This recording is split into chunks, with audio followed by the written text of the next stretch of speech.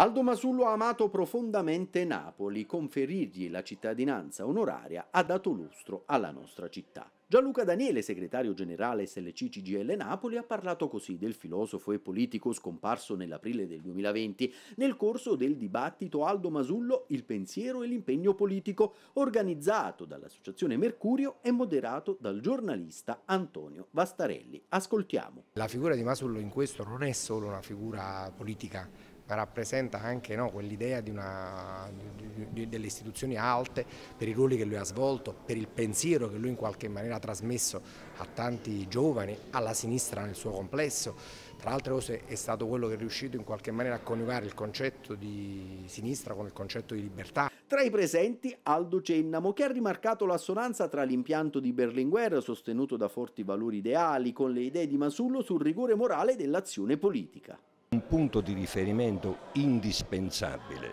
per il rinnovamento della politica, per il rinnovamento della società italiana. Non potremmo prescindere in questi tempi dal pensare e dal riferirci a questo grande punto di riferimento. L'occasione è stata la presentazione del libro di Nino Daniele Aldo Masullo, La filosofia in soccorso dei cittadini. Ecco l'autore ai nostri microfoni.